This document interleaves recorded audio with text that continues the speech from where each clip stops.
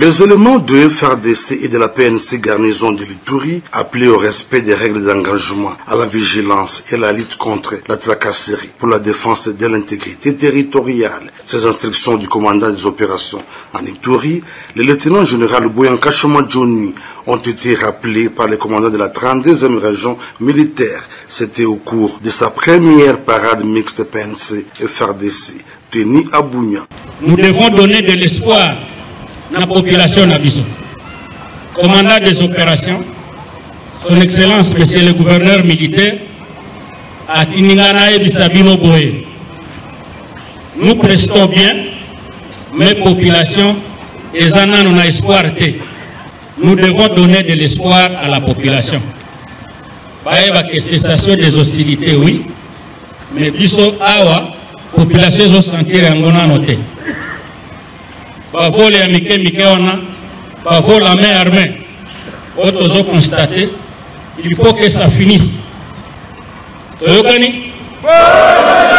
Occasion pour le général-major Peter Chirumwami de demander à la population de continuer à faire confiance aux forces de défense et de sécurité pour la pacification de l'Itourie.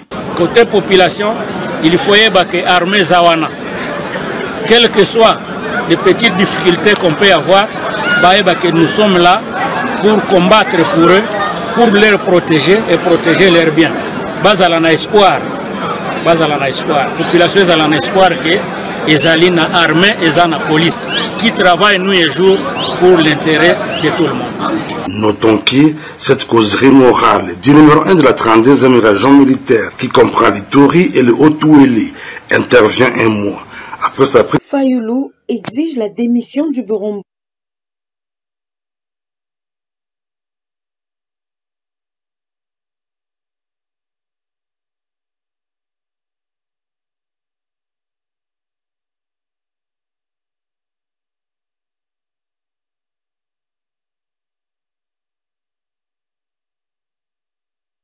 Collectifs de députés, à leur tour, ont également réagi dans un communiqué rendu public ce même mardi. À vous ce commentaire. Fayoulou exige la démission du Buromboso. Révolté par les révélations faisant état d'un gonflement scandaleux des allocations salariales des députés, le leader des LCD étonne et exige le départ du Buromboso et l'annulation immédiate de cette augmentation injustifiée, écrit-il dans une déclaration rendue publique aux premières heures de ce mardi 30 août 2022. Fayoulou ne s'explique pas du tout que dans une situation d'extrême pauvreté dans laquelle vit le peuple congolais, des élus se permettent une gratification des pachas sur le dos de la population, a-t-il ajouté. Sur son compte Twitter, il met en effet difficile de comprendre que dans un pays comme la République démocratique du Congo, où 70% de la population vit avec moins de 2 dollars par jour, pendant qu'un député soit rémunéré 15 fois plus qu'un médecin et 200 fois qu'un huissier de la fonction publique. Notons que le député national Irachan invite Martin Fayoulou à consulter les députés de l'ECD avant de propager des fausses informations dans ce communiqué rendu public. Faisons un tour à la Mongala où Jean-Pierre Bemba Gombo bat le rappel des troupes dans la province ici du démembrement de l'ancienne province de l'Équateur. Le président national du MLC est en tournée dans cette partie du pays. Au centre de sa mission, appelle à l'unité et à la cohésion nationale et au programme d'adhérer au programme de développement de la base de 145 territoires. C'est le samedi 27 août dernier que le leader du MLC est arrivé à Bumba, dans la province de la Mongala. Il a été accueilli à l'aéroport par de miliciens et systématiquement l'Union sacrée de la nation. Dans, son meeting tenu au rond-point Mobutu, les sénateurs honoraires, le prince aborde ces sujets et remercie la population pour l'accueil chaleureux lui réservé et la remarque d'amour, marque d'amour lui témoignée.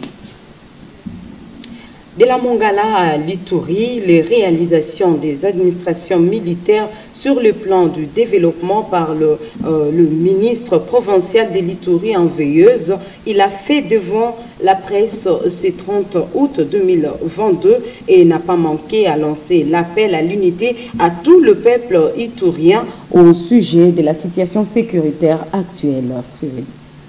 Plusieurs avancées notables sur le plan du développement sont enregistrées en province de l'Itourie depuis l'avènement de l'état du siège. Costa de Jean Marignolo, ministre provincial en veilleuse. Je salue les avancées, euh, les projets qui ont été en chantier euh, continu, les projets asphalte dans la ville, les projets euh, de réhabilitation des infrastructures de l'État, des bâtiments de l'État, c'est à saluer, ça c'est très positif.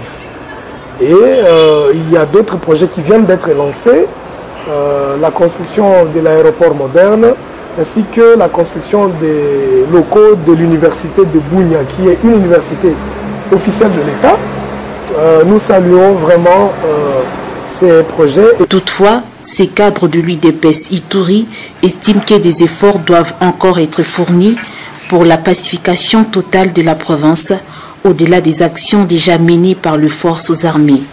Ainsi, Jean Marignolo appelle le peuple iturien à l'unité pour le retour définitif de la paix. Tout le monde a un rôle à jouer. La population doit avoir une attitude qui favorise la paix. Je continue à lancer l'appel à toutes les communautés de s'impliquer vers le dialogue. J'exhorte tout le monde à accepter le dialogue, à accepter de faire l'autopsie et à accepter de changer. S'il faut changer pour favoriser le climat de paix, il faut changer. Il y a peu de messages d'encouragement envers l'administration militaire de l'Itourie enfisé de partout pour son engagement dans la recherche de la paix dans cette partie de la RDC, conformément à la mission lui confiée par les commandants suprêmes des forces armées et de la police, Félix Antoine Tshisekedi Chilombo. Autre chose à présent, Luanda a accueilli le président congolais Félix-Antoine Tshisekedi Chilombo ensemble avec plusieurs chefs d'État étrangers et officiels angolais ont rendu un dernier hommage à l'ancien président de la République d'Angola, Eduardo dos Santos, décédé en Espagne le 8 juillet dernier. Le reportage de la présidence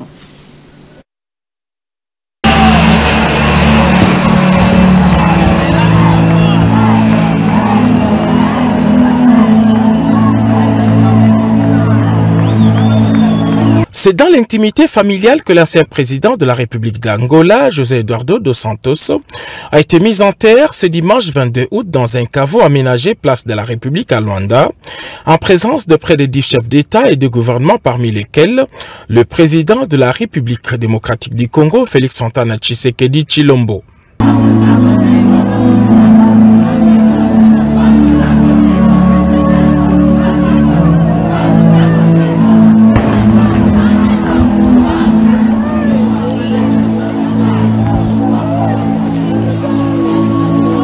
Bien avant l'inhumation, l'ancien chef de l'État angolais de 1979 à 2017 a reçu les hommages officiels de chefs d'État africains, du gouvernement angolais, du MPLA, son parti au pouvoir, et de sa population qu'il a dirigée pendant 38 ans.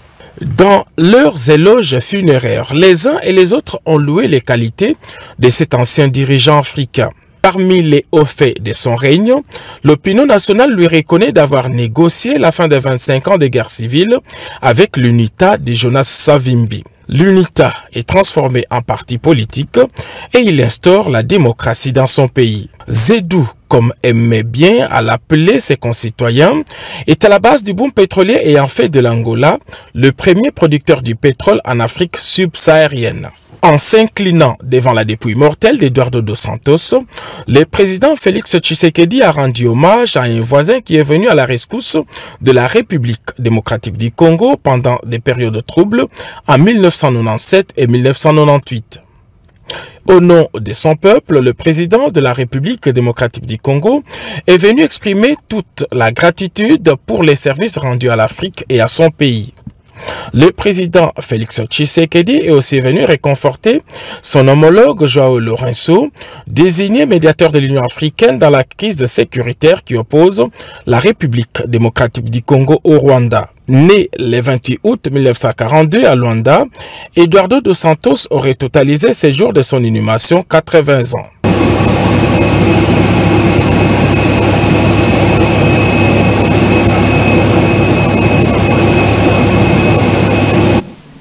Bouclons ce journal avec euh, ce, ce, ce, chapitre. C'est parti avec euh, l'état général des sports à Mbouela Lodge qui sont tous dans la province du Congo central.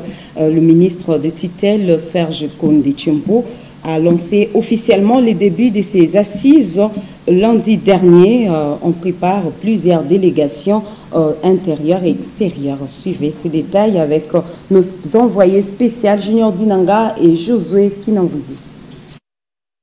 du ministre Serge Koundé Chembo, qui signait son arrivée dans la grande salle de conférence de Mbouela Lodje sous le coup des 16h25, dans un calme et une sérénité des grandes envergures, avec son homologue du Bénin à ses côtés. En respect de la nation, l'hymne national a été entonné avant d'engranger la cérémonie proprement dite. 16h30, début de la cérémonie, à tour de rôle, Madame la ministre provinciale du et représentante des ministres provinciaux des sports présents et celui du mouvement sportif congolais ont exprimé leur gratitude au chef de l'État et ainsi qu'au ministre des Sports et Loisirs Serge Konde Chembo. Invité spécial du ministre des Sports et Loisirs Serge Konde Chembo, le ministre national béninois des Sports a partagé l'expérience du Bénin. Nous avons pris un décret, conseil ministres qui a institué le programme des classes sportives c'est un programme par lequel les enfants des lycées et collèges s'inscrivent dans la discipline sportive de leur choix.